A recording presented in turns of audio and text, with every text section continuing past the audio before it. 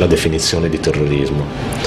E nessuno è riuscito ancora a dare una definizione di terrorismo, ma non perché non sia, non sia possibile definire il terrorismo, perché definendo tutte le ipotesi che sono state fatte dagli organismi internazionali, dai centri studi militari, che, che tutte le ipotesi per definire terrorismo assomigliano talmente tanto alla guerra che nessuno ha il coraggio di dire questo è il terrorismo. Queste quattro righe ti dicono che cos'è il terrorismo, perché quelle quattro righe ti dicono anche la stessa cosa è la guerra.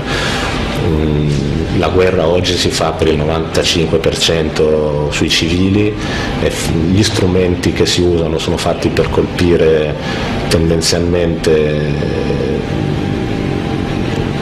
dire, la, vita civile del paese, eh, non si fa più la guerra tra eserciti, si fa comunque sempre guerra, è un'invenzione della fine della seconda guerra mondiale, quella di bombardare le città. Che cos'è la guerra, Cecilia?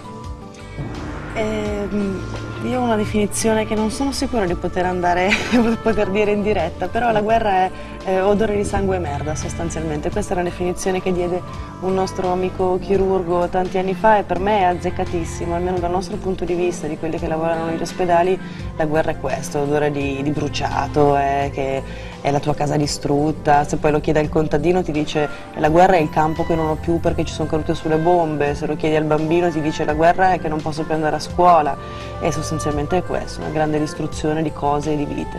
Massimo Fini, che cos'è il terrorismo? Ma il terrorismo è il... Eh, come si può dire?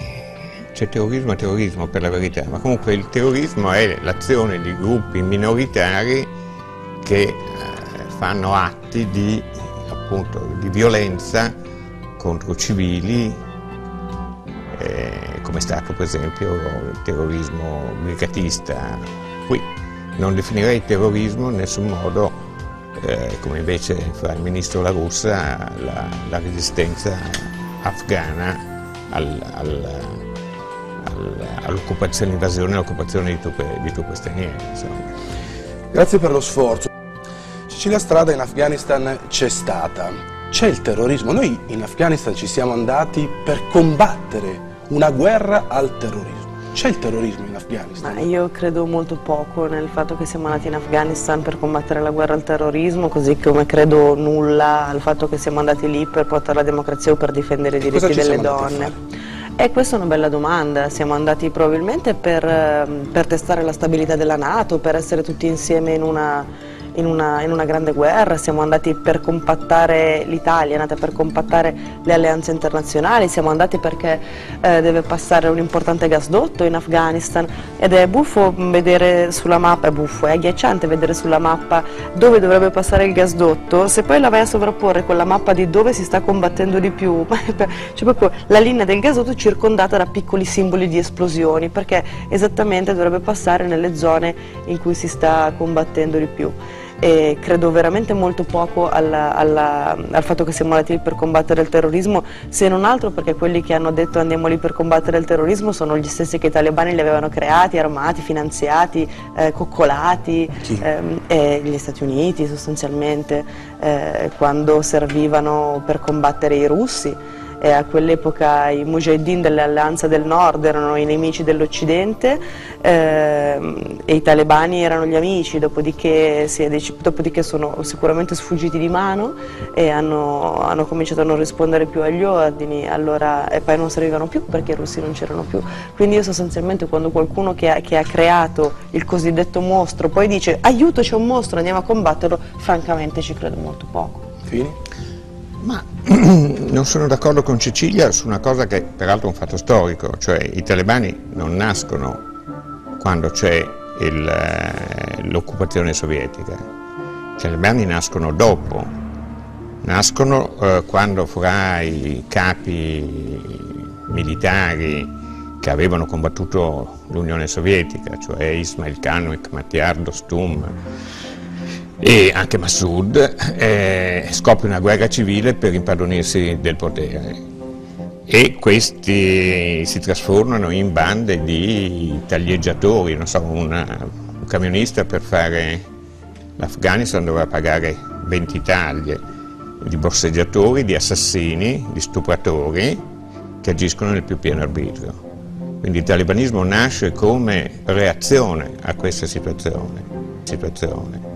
Sconfigge i signori della guerra, li caccia al di là dei confini e riporta l'ordine e la legge in Afghanistan. Un duro ordine e una dura legge, peraltro Sharia, che peraltro non è estranea a quella popolazione, come può essere per noi, e questa era la soluzione che gli afghani avevano trovato per se stessi. Poi se i talebani non gli fossero andati bene, siccome lì ognuno c'ha un Kalashnikov, li avrebbero cacciati. Ma in realtà nell'Afghanistan talebano c'era sicurezza, tuo padre mi ha detto che si poteva vedere anche di notte in quell'Afghanistan. I signori della guerra erano stati cacciati, non c'era corruzione, per la semplice ragione che i corrotti gli tagliavano le mani, improponibile in Italia perché avremo un Parlamento di Moncarini, e nell'ultimo anno cioè nel 2001, inizio del 2001, la prende una decisione straordinaria perché blocca la coltivazione dell'oppio, del papavero da cui si ricava l'oppio. Questo non viene mai detto, scusi, mi scusi, mi scusi, ma è importante perché saranno brutti, sporchi e cattivi, ma questo è avvenuto. Se lei prende i prospetti, vede che nel 2002, anno in cui rileva la decisione presa nel 2001, eh, l'oppio la, la, eh, cade quasi a zero. Oggi l'Afghanistan liberato produce il 93% de, dell'oppio. C'è una corruzione eh, sistematica da parte delle forze governative, eccetera, poi sono ritornate le bande e tutto, e, e tutto quanto. E finisco, ha detto Ashraf Ghani, che era il terzo candidato di queste eh, farsesche elezioni di agosto, un medico, il più occidentalizzante di tutti, più figli occidentali di tutti, quindi eh, insospettabile sotto questo aspetto, ha detto nel 2001 eravamo poveri ma avevamo ancora una nostra moralità. Questo profluvio di dollari ha corrotto la nostra integrità.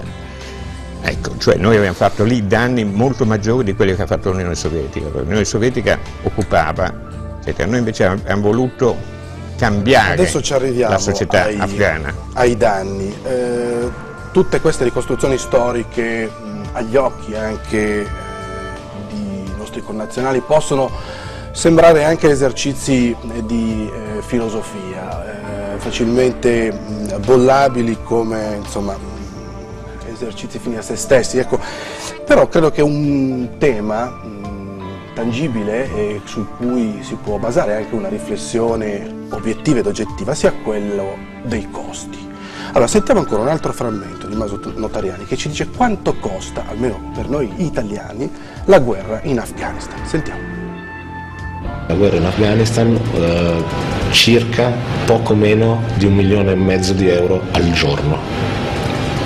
Il che vuol dire che in dieci giorni noi in Afghanistan, noi italiani, potremmo fare, rimanendo nel concreto, eh, 5 ospedali, ma di quelli belli, non di quelli che la nostra cooperazione va a fare in giro per il mondo, 5 ospedali da curarci i propri figli, eh, 50 scuole, eh, boh, so, 3 fabbriche in 10 giorni.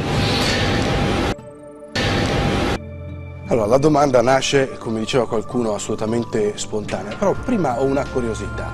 Eh, Emergency è stata mai fatta oggetto di contestazioni da parte del popolo afghano? Qual è il sentimento degli afghani nei confronti dei presidi di Emergency? No, gli unici con cui abbiamo avuto problemi sono in realtà i servizi di sicurezza afghani nello scorso aprile e la popolazione afghana, noi abbiamo curato 2 milioni e 300 mila afghani, afghano più, afghano meno, eh, il che vuol dire che sono nel nord, a Kabul e nel sud dell'Afghanistan. Eh, io sono tornata dall'Afghanistan e al, stavo uscendo dal, da, da, Kabul, ero all'aeroporto e mi ha inseguito un doganiere e mi sono chiesto perché voleva dirmi che aveva visto il badge di emergency, noi non ci conoscevamo assolutamente, però ci teneva a dirmi che sua moglie era stata ricoverata da noi in Panshir due volte, che l'avevamo curata gratis, eccetera Gli afghani sono un popolo molto molto generoso, molto fiero, molto generoso, capace di enorme gratitudine. Eh, certo, non se vai lì in armi, eh, ma se vai lì, rispetti la loro cultura, li curi gratis, li curi bene, gliele da mangiare, eh, gli dare medicine. Eh, allora, faccio finta che mi sfugga il concetto bene. e glielo chiedo, eh, perché gli occidentali che vanno vestiti in un certo modo, parlo di una tuta, mimetica, tuta mimetica e un'arma in mano, o altro tipo di, di occidentali come i contractors e altro, vengono visti come occupanti, mentre invece gli occidentali di emergency no, vengono ben voluti? Perché noi andiamo a curare la gente e non a sparargli addosso, perché noi non dobbiamo spendere eh, soldi, per i soldi per i giubbotti antiproiettili, il filo spinato, i sacchi di sabbia, perché noi non, per farci strada agli incroci non spariamo addosso a nessuno, li spendiamo tutti per la popolazione afghana, quindi eh, c'è rispetto verso di noi. Poi il problema non è soltanto i soldati degli eserciti regolari, hai citato i contractors, i contractor sono un grande problema, io in quest'ultimo viaggio eh, poche settimane fa in Afghanistan ho notato questa cosa, ehm, la volta precedente, un anno prima, ero l'unica straniera su un volo di afghani da Dubai a Kabul. Eh, a questo giro eravamo eh, quattro civili, tra cui masonotariani, e tutti gli altri erano contractors, che sono assolutamente riconoscibili perché eh, sembrano eh, militari o ex militari, ma non sono militari perché altrimenti viaggerebbero sul volo militare e arriverebbero a Bagram eh, contractors. Quindi ehm, adesso il business della, della sicurezza sta eh, facendo arricchire moltissima gente, non afghani ma stranieri, e si ripeterà probabilmente il copione che si è visto in Iraq, per cui da un certo punto della guerra in poi c'erano più contractors che non, che non soldati dell'esercito regolare e che tra l'altro non sono sottoposti a nessuna legge. Fini, li ha sentiti, sentiti i numeri, li ha sentite le cifre, credo che parlino da soli, però forse vale la pena fare una riflessione. Oltre un milione e mezzo di euro al giorno, si potrebbero costruire ospedali, eh, strade, scuole. Gli afghani a quel punto se non si conquista proprio la loro simpatia ce, si, ce li si compra sicuramente. E noi spendiamo appunto 68 milioni al mese, mi pare, no? di euro, e gli americani 100 miliardi di dollari l'anno.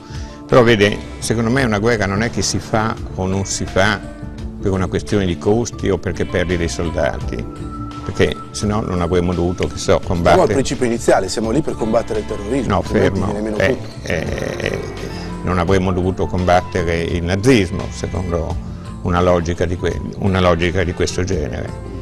Quindi il problema, certo, è ovvio, è vero, siccome la guerra è totalmente pretestuosa, il terrorismo non è in Afghanistan, il terrorismo internazionale, ammesso che ci sia, ammesso che Al-Qaeda esista, non, non c'era un solo afghano eh, nei, nei commandos che attaccarono le torri gemelle, non un solo afghano è stato trovato nelle cellule vero presunte di Al-Qaeda, eh, non sta nella loro cultura, nei dieci anni di eh, combattimenti durissimi con l'Unione Sovietica non hanno fatto un solo atto di terrorismo, tantomeno kamikaze, né dentro né fuori al paese, pur con Aeroflot facilmente colpibile, c'era ovunque. Ma insomma lei se ne è data una spiegazione, perché spendiamo un milione e mezzo di euro al giorno per andare a far morire dei ragazzi quando invece potremmo perché, spenderli per, per, per ricostruire un paese?